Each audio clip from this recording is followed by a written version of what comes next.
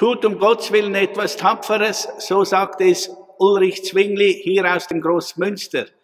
Das wünsche ich zur Grundsteinlegung des House of One. Ein herzliches Pürti Gott.